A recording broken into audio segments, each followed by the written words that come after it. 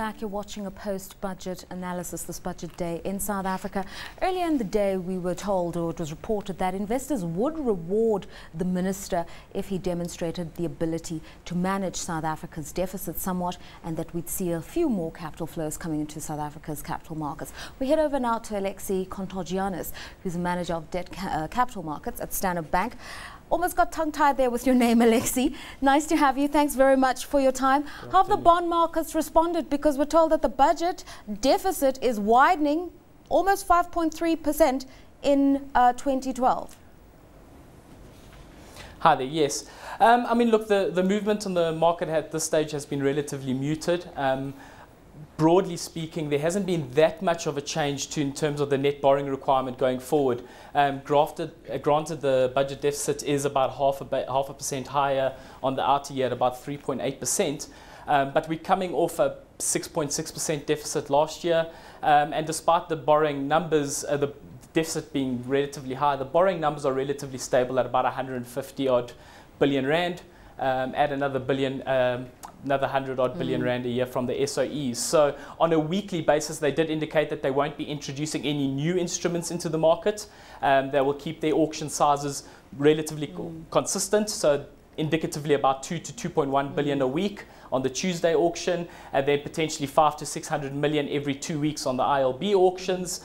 Um, but what we expect to see is them focusing their issuance on the, the longer end of the curve. So about a quarter of that in the 7 to 10 year, mm. uh, a third year probably the 10 to 20 year or 19 right. year, and then maybe another quarter longer than that. So really from a, from a broad picture, no real changes, um, relatively conservative budget. Um, I think he, he, made all the right noises right. Um, that what the bond investors were looking for. Um, so I think generally it will be well taken. Okay, but let's fast forward because we do know that we've seen a bit of a sell-off recently. Investors uh, no longer see uh, good yield in emerging markets. Certainly that was the case in South Africa. And if we've got a wider deficit, is it likely to push up the price of South African bonds and also push up the yield curve slightly higher?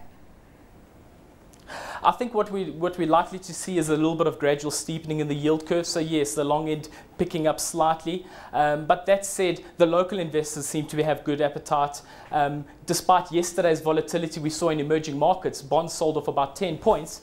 Um, we still had the government's auction going off relatively well. They auctioned 10 and 15 year notes and they cleared one basis point through the market. So there will be a gradual increase. The minister did acknowledge an increase in debt service costs from about 66 billion uh, for this fiscal year, down from previous estimates of about 71 billion, rising up to about 105 billion. But relative to GDP, our debt service costs are still staying mm. very, very moderate. Um, and even if you add, I mean, our borrowings uh, make up about 40% of GDP at the peak. Compare that to developed market peers and other emerging market peers, we're still way below the norm. Right. And we certainly have got a lot of upside room uh, to, go, to go if they need to. Um, but I think they're going to maintain a very cautious approach um, to the funding requirements going forward and just really manage the issuance um, a little bit a little bit more proactively. Okay, thanks so much for your time, Alexi Contagianis, the manager of debt capital markets at Standard Bank. Kevin Lings, your views on this one? Uh, the deficit going up 0.7% since the medium-term budget last year. We're also told that we're going to see a lot more government spending. I think his words were, "In good times we save, in challenging times we've got to spend." Mm. Look, I think what the budget deficit is telling you is that government's under pressure, so they're under pressure to raise revenue. The tax base is very small, as we know, and we're not creating jobs. So that's the starting point.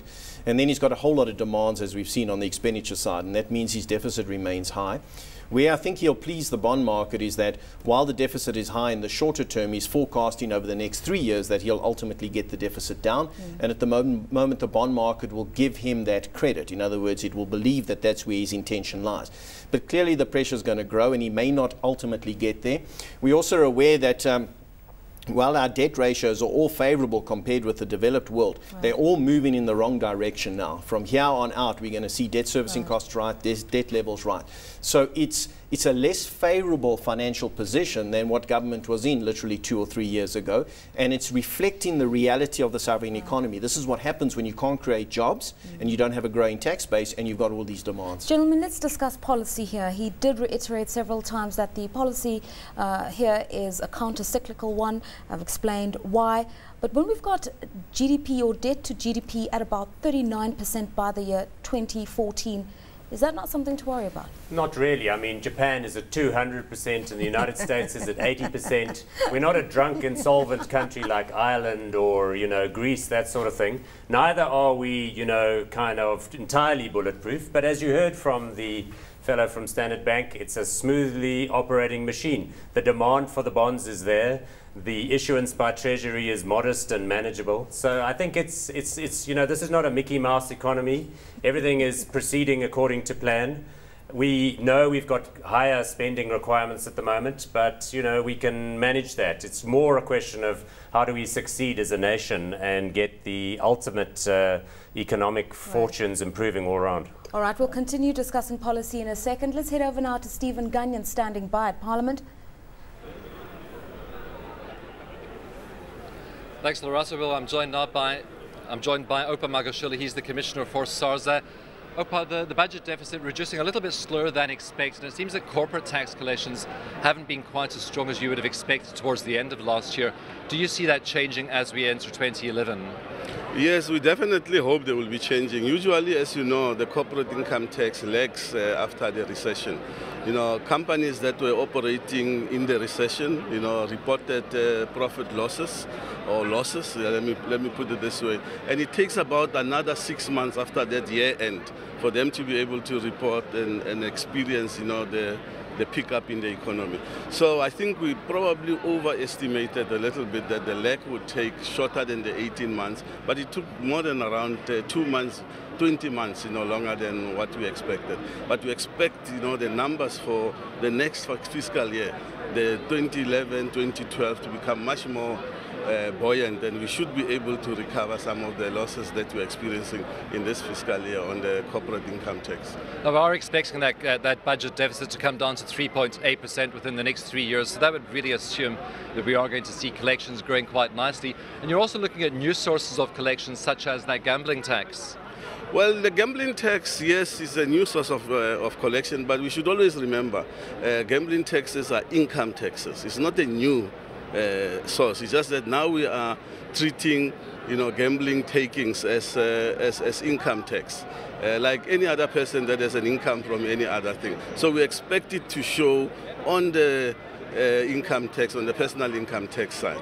A little bit of an increase, but not too much because none of us have done the numbers as yet. Uh, because the reason for the gambling tax is not necessarily to increase the tax, uh, you know, the tax take. It's really around saying there are other social impacts that gambling has, more than just uh, an, an, increase in, in, the, in, the, you know, it takes and degrades, you know, uh, household uh, income and, and, and also, you know, make sure that people ignore their own other responsibilities and take uh, chances on, on, on, on, gaming and, uh, and gambling.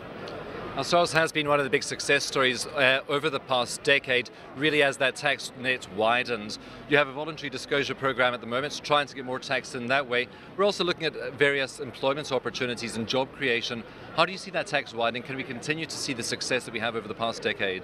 Yes, uh, we, we had a tax contraction, a tax revenue contraction last year, if you remember, uh, of about 4.2%. And year on year, as the minister has said, we are anticipating that the tax growth year on year will be around 12.3%. And that is because of not only you know, economic activity, but there's also enforcement activity around compliance.